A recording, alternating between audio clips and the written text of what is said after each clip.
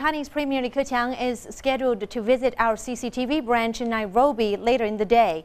CCTV Africa has been a little over two years since it's launched in Nairobi. And CCTV Africa is helping change global perspectives of the continent. The Nairobi-based network focuses on African news from an African viewpoint with plans for more coverage. Now CCTV's Penina Karibe earlier files this report. Hello and welcome to Africa Live, where we bring you Africa. Another slick production goes to air.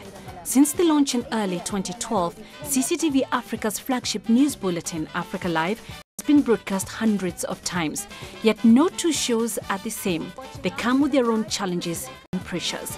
That they work as well as they do is thanks to an astounding international partnership between correspondents across Africa and media professionals from five continents working together in Nairobi.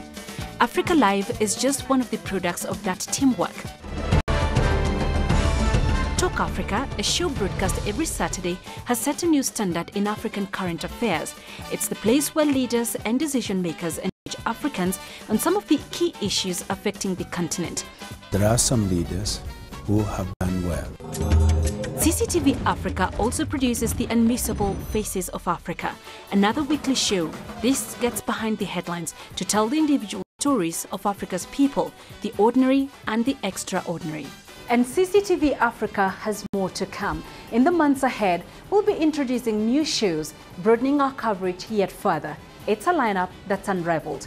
The stories of Africa told by Africans, and Africa has a great story to tell. Penina Karibe, CCTV in Nairobi, Kenya.